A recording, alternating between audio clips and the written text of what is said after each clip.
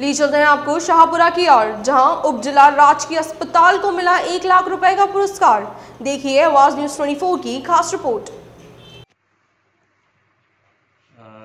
राजकीय उप जिला चिकित्सालय शाहपुरा को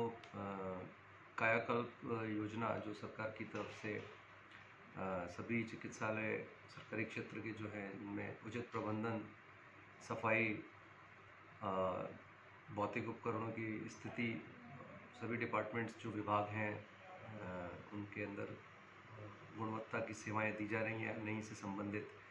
एक 79 पॉइंट्स की चेकलिस्ट के ज़रिए अवलोकन अस्पताल की गतिविधियों का किया जाता है, जिसमें मुझे अत्यंत हर्ष के साथ ये कहना पड़ रहा है कि राजकीय उप जिला चिकित्सालय को जयपुर ज़िले में प्रथम स्थान प्राप्त हुआ है और एक लाख रुपए की प्रोत्साहन राशि मेडिकेयर रिलीफ सोसाइटी के अंदर हमें मिली है। ये हर्ष का विषय है और इस मैं सभी चिकित्सालय कर्मियों के साथ ये शेयर करना चाहता हूँ और उनको धन्यवाद देना चाहता हूँ कि उनके सहयोग से संभव हो पाया है। भविष्य में हमारी योजना जो है वो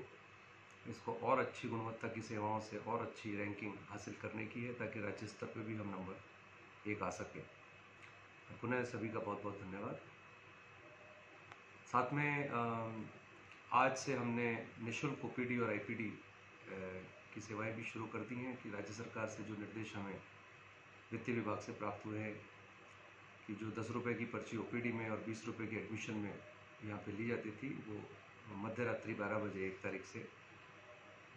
अग्रिम आदेशों तक भविष्य में फ्री है और किसी तरह का कोई शुल्क रोगी से वसूला नहीं